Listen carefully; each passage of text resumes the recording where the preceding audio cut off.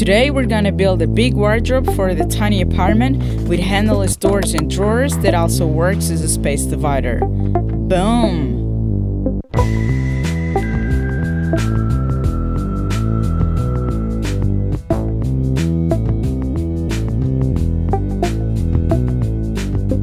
Okay, so now that the entry closet is done, it's time to build the last big piece of furniture for the apartment. I plan to raise the storage all the way to the ceiling, but I'll save that for later. I will be using laminar eucalyptus plywood for this project, but this can be done with MDF or even melamine covered particle board, although plywood will give you the most durable and strong construction.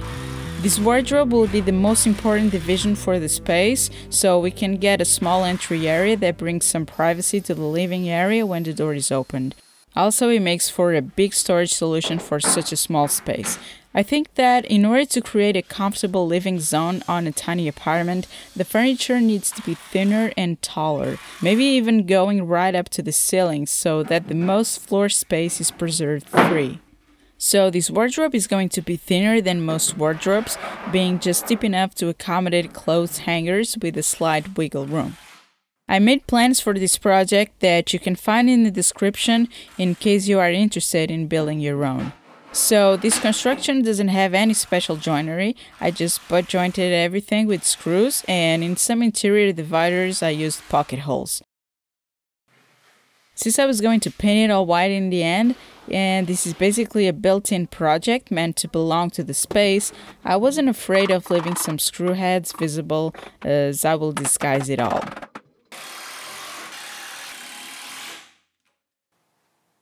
This construction process is very similar to the entry closet that I posted a couple months back, so if you watch this other video, you will get extra useful information that I didn't cover in such detail in here.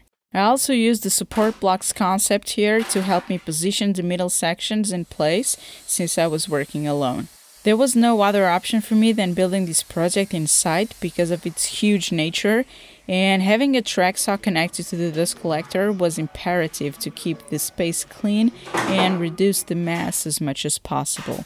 So here I was attaching the backer pieces that I decided to have the same thickness as the rest of the structure to give the build full strength. So I built everything here out of 18 millimeter plywood. Besides working as a room divider, this wardrobe also has the look of a wall on the back, so using a flimsy sheet good was not a way to go for me.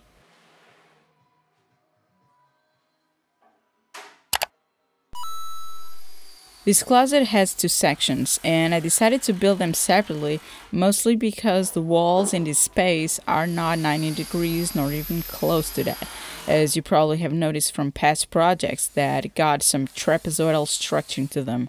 And because I didn't want to lose any storage volume, it seemed to make more sense to build a smaller section meeting the angle corner than ignoring it and have a hidden gap next to the wall.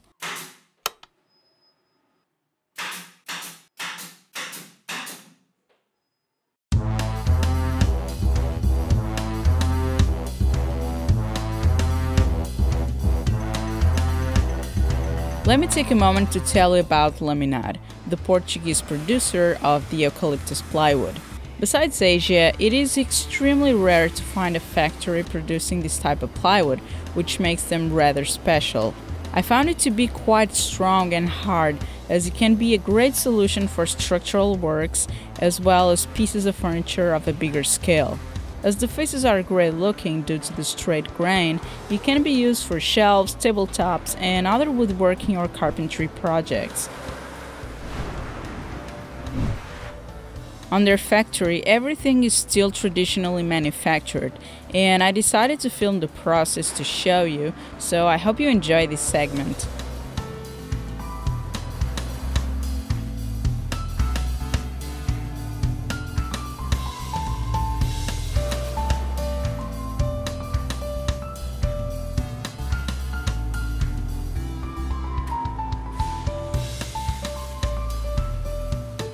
They produce all kinds of plywood meeting the customer's needs using other species of wood as well as veneers. You can find the link to their website in the description.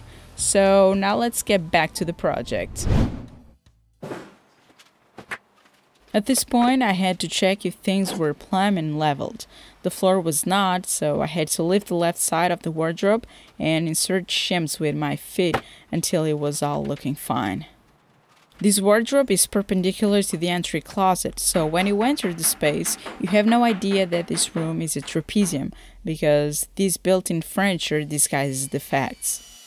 I then connected both components and also drove a few screws to connect these into the entry closet. I want to hang the wall lamp I made about two years ago here on the entry, so I made a wire installation right away. It will be integrated in the wood strip that stabilizes the meeting edges from the backer pieces. So the electrical wire will be hidden along this seam and running into the bottom area of the wardrobe that will have the drawers.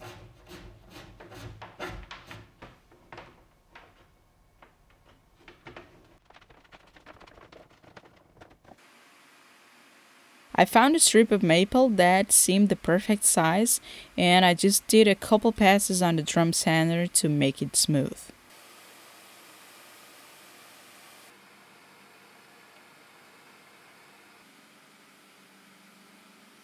I could then create a slot for the wire in the middle of the strip and cut it to length.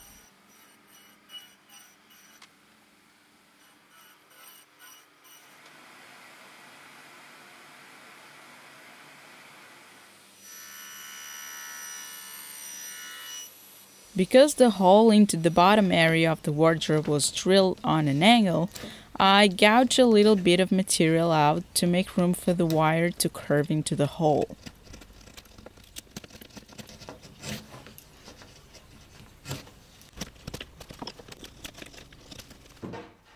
The installation was pretty simple using a pin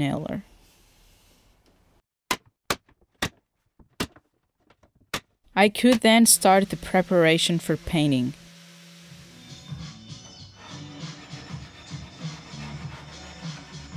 I applied mud to the panel seams and the corner. It was my first time using this paper strip meant to disguise the meeting lines, and please do not pay attention to what I did as this is probably very wrong. I had no experience at all on this field, but still wanted to give it a try. It would be so much easier to start this type of builds by painting the panels and then cutting and assembling, and I acknowledged that while building the entry closet, but unfortunately I forgot again and repeated the mistake on this build. So if you can, do apply the finish before you even start assembling to avoid countless tedious hours of extra work in the end.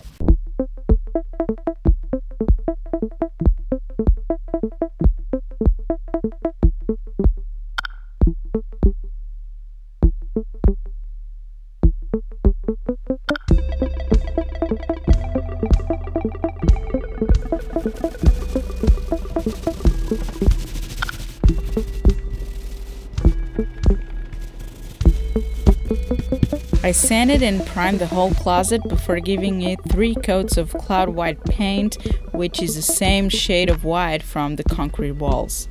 I also applied caulk on the existing gaps and could finally hang the wall lamp.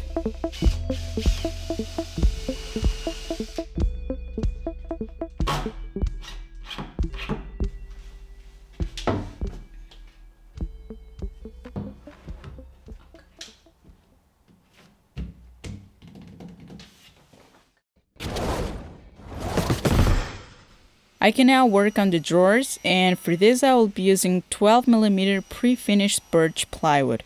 This plywood is not the best looking, but the fact that it is pre-finished was important to me because there is no extra work needed besides cutting and assembling. I cut everything in strips of 16 centimeters and then cut the strips to length to match the drawer slide's dimensions.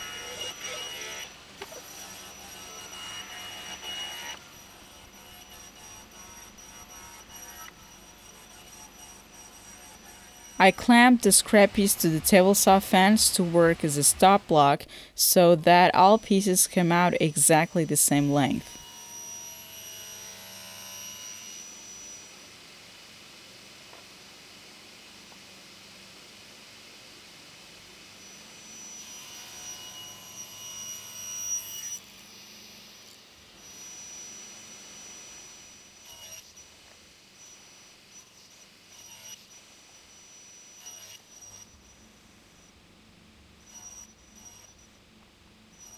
The grooves to receive the bottom panels were made at the table saw using a dado blade set.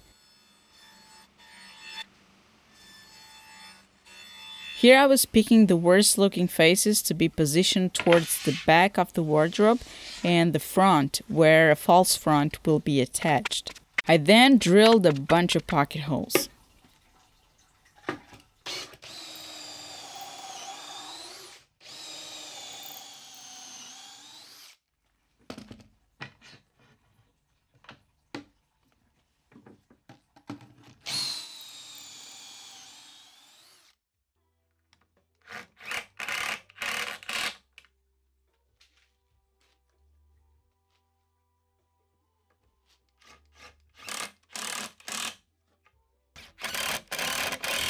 There are specific holes to receive the drawer slides and I made a quick jig to be able to quickly drill all the holes in the correct position.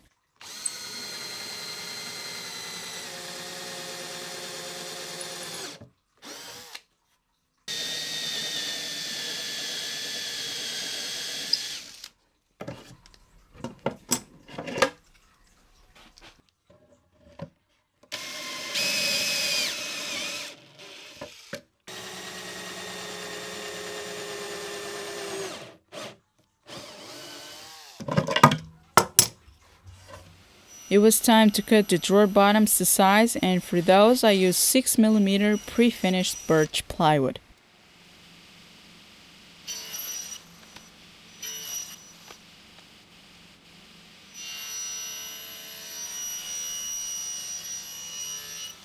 Assembling the boxes was a very easy task and did put a couple screws on the bottom for reinforcement and keep everything square.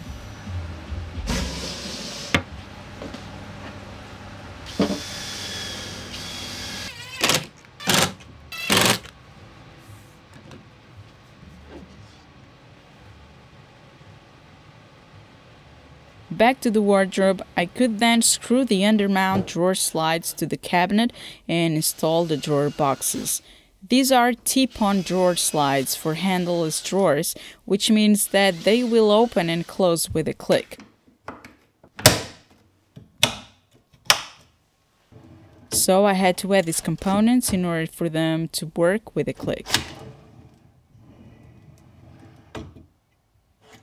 I can finally start working on the fronts and those will be made out of Baltic birch to match the look of the wall bed, the sofa and the kitchen.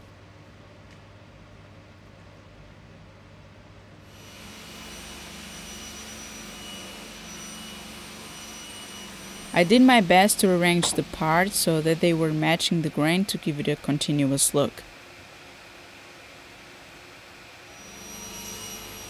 For the concealed hinges installation, I utilized a rockler jig that makes it very easy to drill the large holes in the perfect place every time. I will link all these hardware and jigs in the description below for you to check out.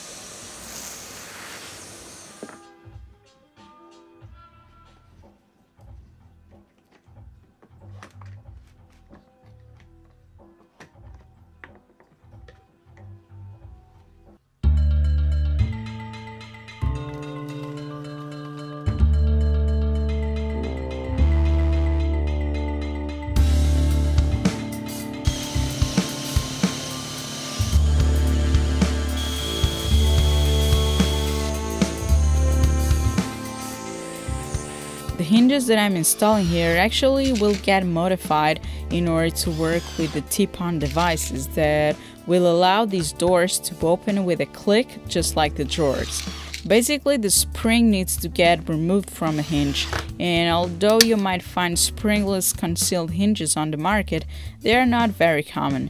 In case you can't find them or want to use hinges that you already have, I will soon post a quick tips video showing how to remove the springs from the hinge, so stay tuned for that. I used another Rockler template jig to drill the holes for the hinge plates and snap the hinges into them.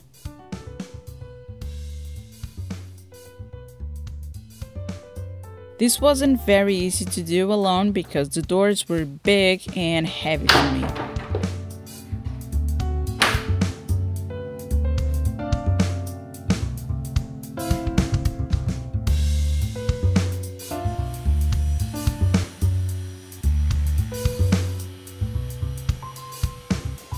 After cutting the false fronts, I went ahead screwing them from behind to the boxes.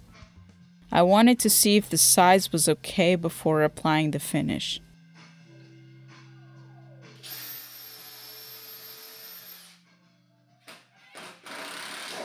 I have installed false fronts many times on my projects, so this time I'm not explaining the process step by step.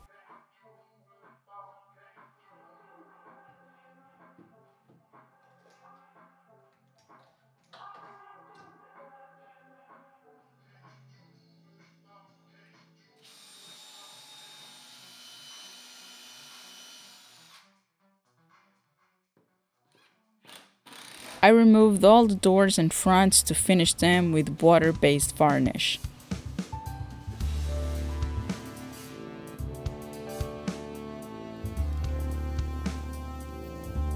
The build is basically finished, all I need to do now is to make the rod hangers and install two shelves. I drew the rod hangers on the computer and cut them on my X-Carve out of black MDF.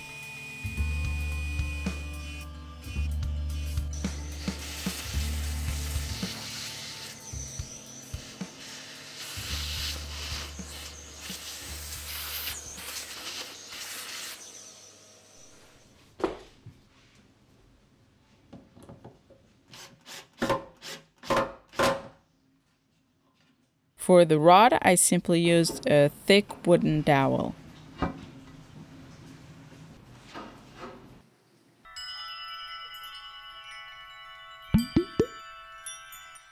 Perfect.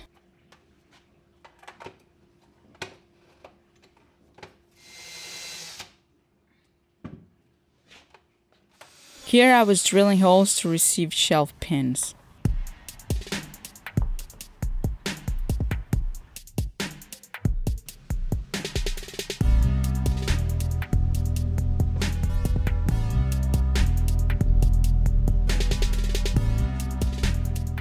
To finalize the wall look at the back, I nailed the baseboard and filled the gaps with caulk.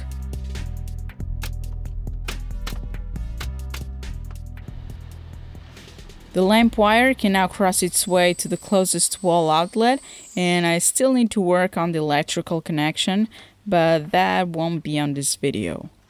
The wardrobe is ready to receive clothes and I'm super pumped to have one more big piece of furniture checked from my builds list. If you want to build a similar wardrobe, I got plans available in the description below.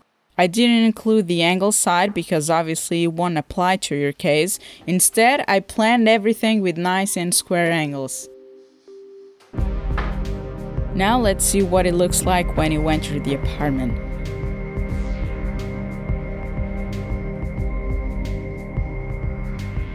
So here's the entry closet and I made a notch on the baseboard to receive the sliding door. I still need to work on the electrical connection for the wall lamp, but so far I'm really happy to see that things are really taking shape. Alright, so I hope you got some great ideas for your next project and if you want to support my work, go ahead and grab some stuff from my online shop at gethandsdirty.com slash shop. I've got t-shirts, hoodies, maker bandanas, handmade notebooks, mugs, and a lot more. A big shout out to Laminar and all my Patreon supporters who made this video possible. If you want to become a supporter too, head over to patreon.com slash gethandsdirty. Thanks everyone for watching, stay safe, and keep getting your hands dirty. Até já!